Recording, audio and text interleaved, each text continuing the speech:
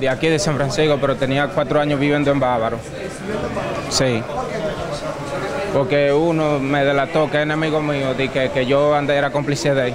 Pero se dice que usted desplazaba desde allá. No, yo allá lo que hacía era trabajar. Tengo cuatro años trabajando en una empresa de gringo allá. Que te acusan que. ¿Eh? Anteriormente, porque éramos compañeros anteriormente y quedamos siendo enemigos y ahora él me acusa a mí. ¿Tú caíste preso solo o con varias personas? Solo. Me trajeron anoche.